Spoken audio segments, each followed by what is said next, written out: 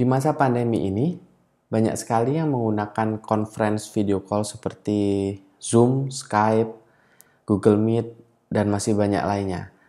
Dan banyak juga yang mengeluh dengan kualitas video yang kurang bagus dari webcam bawaan laptop atau komputer mereka. Dan kalaupun kita membeli webcam yang mid range harganya, misalnya di sekitar 500 sampai 1 jutaan, hasil yang dihasilkan pun masih nggak begitu bagus. Nah, bagaimana caranya mengatasi ini?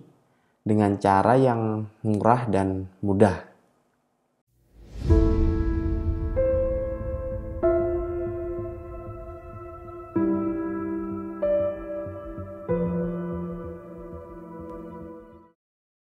Halo teman-teman semuanya, ketemu lagi dengan saya Jeffrey Lai.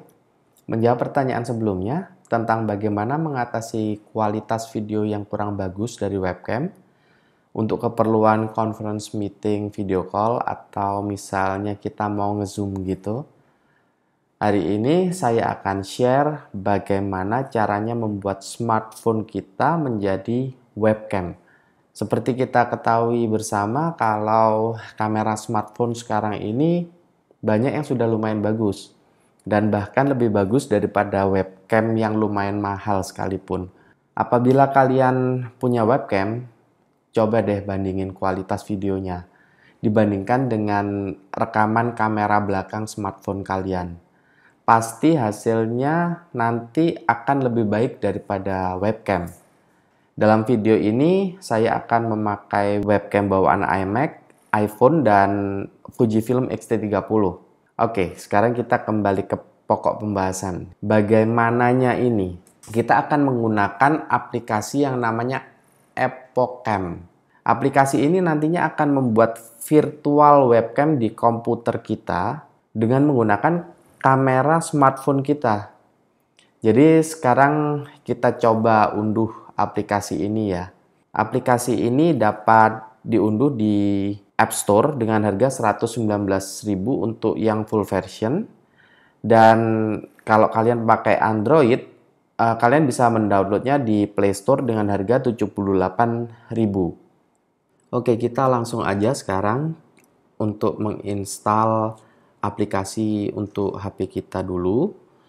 Kita masuk ke App Store dan kemudian kita ketik Ipocam.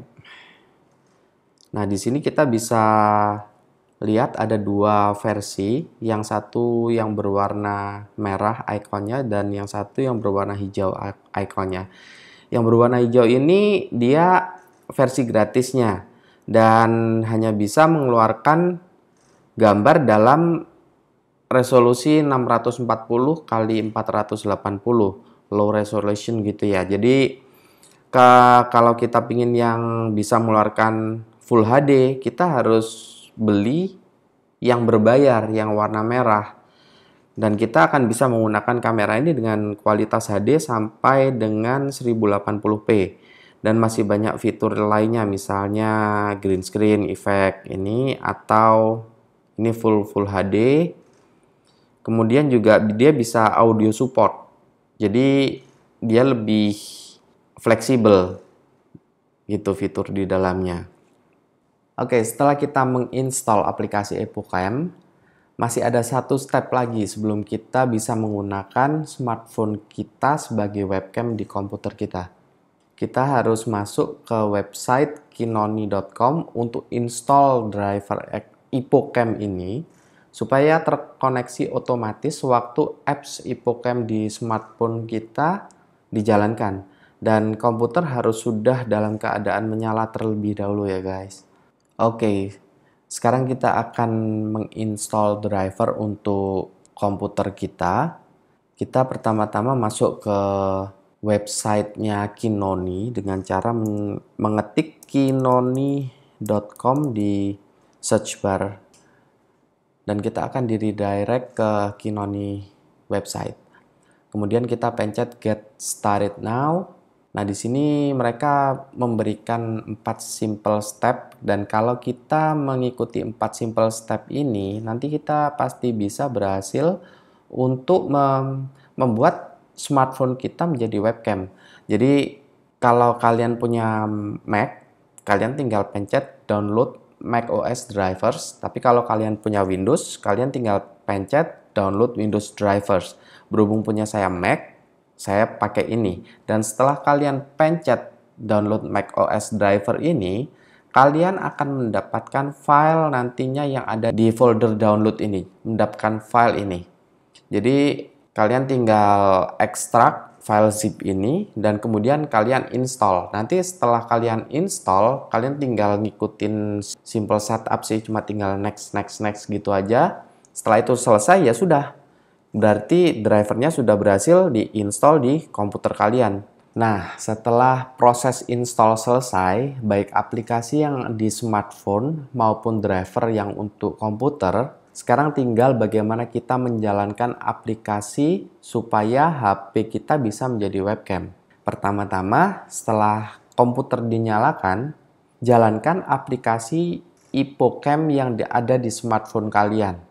Kalau kalian bisa melihat video di layar HP setelah kalian menjalankan aplikasi IpoCam, berarti kalian sudah berhasil membuat kamera smartphone kalian terkoneksi dengan yang di komputer, artinya sebagai webcam. Oke, setelah tadi kita coba berhasil, sekarang kita akan coba lagi webcam baru ini di aplikasi Zoom. Apakah sudah bisa menjadi virtual webcam seperti yang kita inginkan tadi. Oke, sekarang kita coba masuk ke Zoom. Kemudian kita masuk ke setting, kita masuk ke video.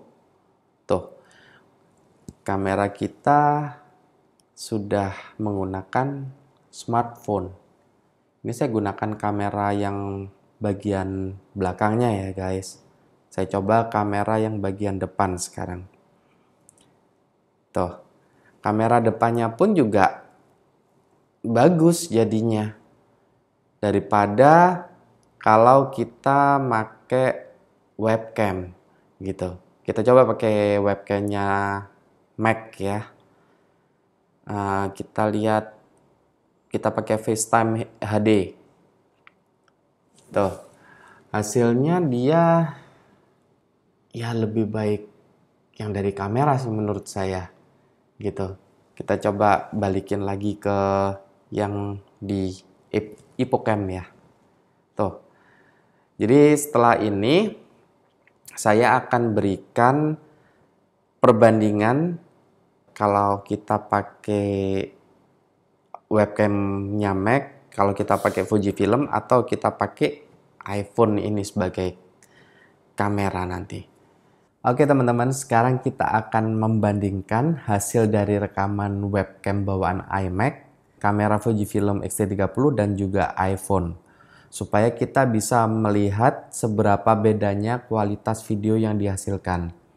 Dapat dilihat di layar, memang kualitas yang terbaik tetaplah dari Fujifilm X-T30. Tapi kalau kita melihat yang paling jelek, ternyata yang paling jelek adalah dari webcam tapi yang dari iPhone secara mengejutkan menempati urutan yang kedua. Jadi kalau kita bandingkan apabila kita membeli webcam yang termurah sekalipun, tetaplah lebih murah membeli aplikasi IpoCam ini dan kita bisa mendapatkan hasil kualitas video yang lebih bagus juga.